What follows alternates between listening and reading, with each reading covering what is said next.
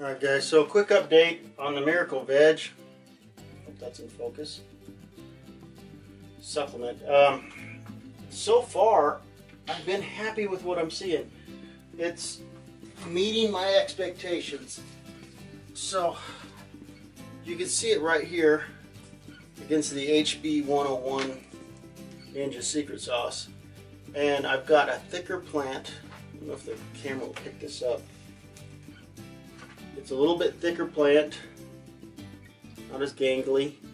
The leaves are a little bit wider, greener.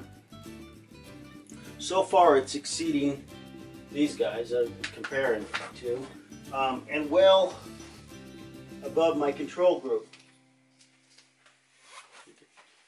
My control group is probably the smallest of the bunch.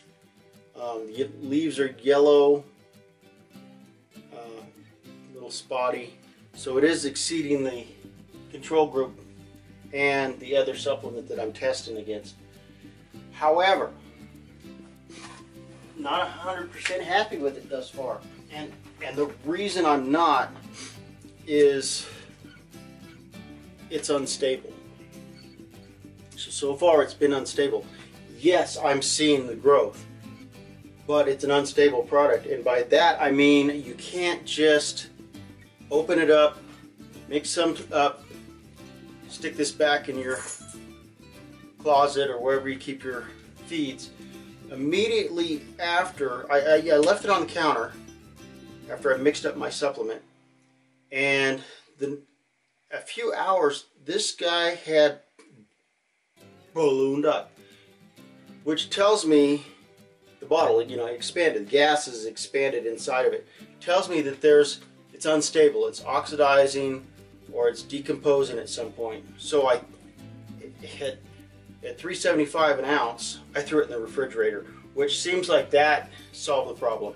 So you don't see any swelling in the bottle. I just took it out of the fridge and it's cold.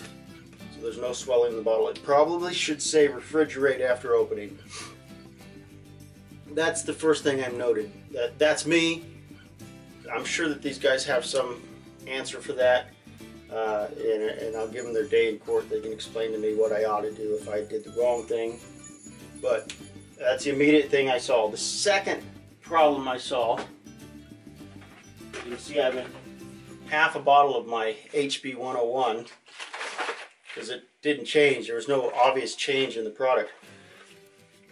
After a week, this stuff was rank.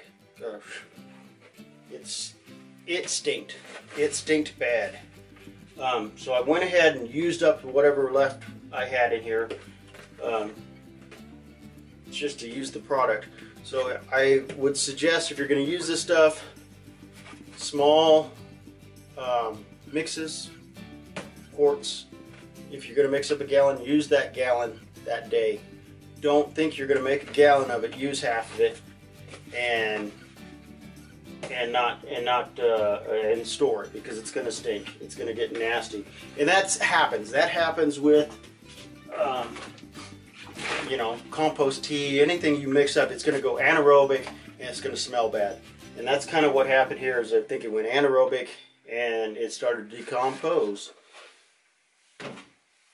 But so far, what I'm seeing with my control group, uh, the other products I'm using against, it's excelling.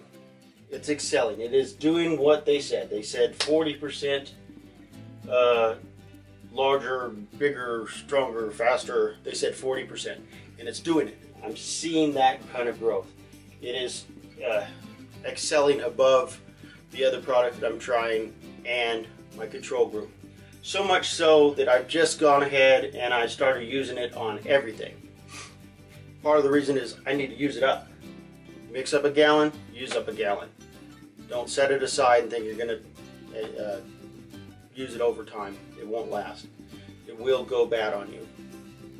So, so far that's uh, my one week update on the product.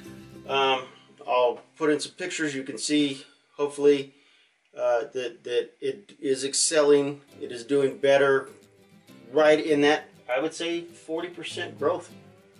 Um, but then I'm going to say You know, the HB, the 101, they said it was 10%, and it is better than 10%.